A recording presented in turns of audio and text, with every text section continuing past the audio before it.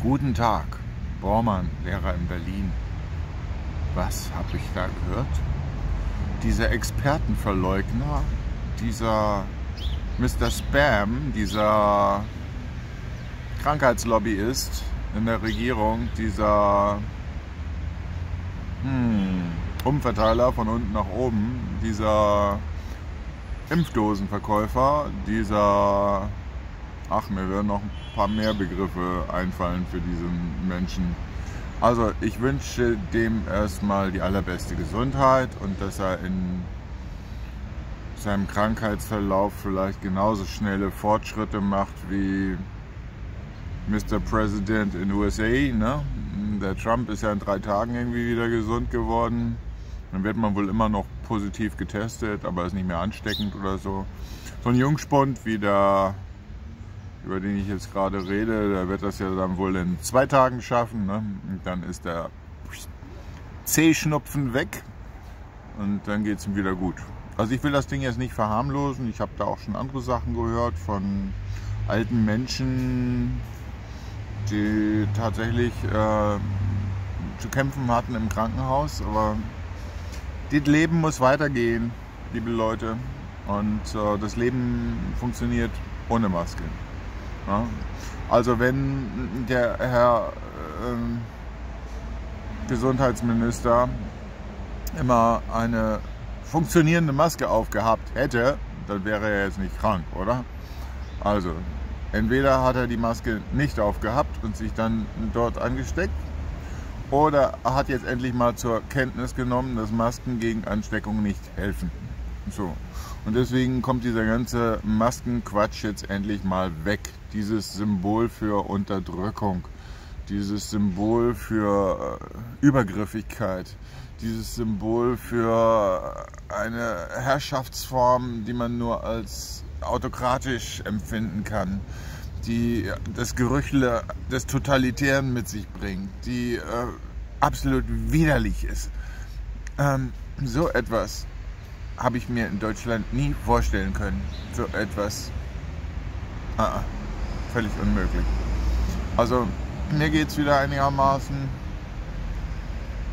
Mal gucken, wie ich jetzt aus dieser hm, Kiste wieder rauskomme. Mich in irgendeiner Form mit dem verängstigten Teil der Bevölkerung arrangiere es wird schwer. Es wird sehr schwer. Aber wissen Sie was? Mein Gefühl ist, Corona ist vorbei. Es ist vorbei. Kein Mensch hat jetzt in Zukunft noch Panik. Wir haben vielleicht noch Angst und Respekt. Aber Panik, die ist weg. Also das, was wir im Frühjahr hatten, dass wir da wirklich so dachten, wir könnten den Türdrücker nicht anfassen, das ist weg. Das kommt auch nicht mehr, das Gefühl. Ja, also ich desinfiziere auch keine Gegenstände mehr und sowas. Ja. Also wir fahren jetzt langsam das Leben wieder auf den Normalpunkt zurück. Dass es da irgendwelche Leute gibt, die äh, immer noch meinen, Panik äh, äh, schieben zu müssen, das äh, ist schwierig für den Rest. Die ein gesundes Gesundheitsempfinden haben, die sich nicht von Krankheitslobbyisten krank machen lassen. Also wir können über das Thema inzwischen vernünftig reden. Bin ich der Überzeugung. Es gibt Mittel und Wege, einfach mal Leuten guten Tag zu sagen und zu sagen, hast du was dagegen, wenn ich meine Maske hier abnehme? Und die meisten würden sagen, nö, ist okay. Und das machen wir dann auch unmaskiert durchs Leben gehen. Nicht als Zombies. Das Zombification ist vorbei. Bei mir. Komplett. Und äh, das ist ansteckend. Das ist der Freiheitsvirus. Und der befällt jetzt einem nach dem anderen. Und wenn Herr Söder meint, er kann da irgendwie eine andere Linie fahren, Funktioniert nicht.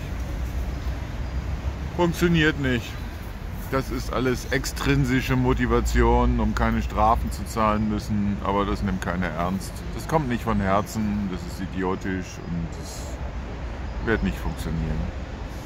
Das ist meine Überzeugung. Also liebe Leute, wir sehen uns auf der nächsten Demo, wenn die Söders dieser Welt ihren Scheiß so weitermachen wie bislang. Und wir stellen das Grundgesetz wieder her. Schönen Tag noch.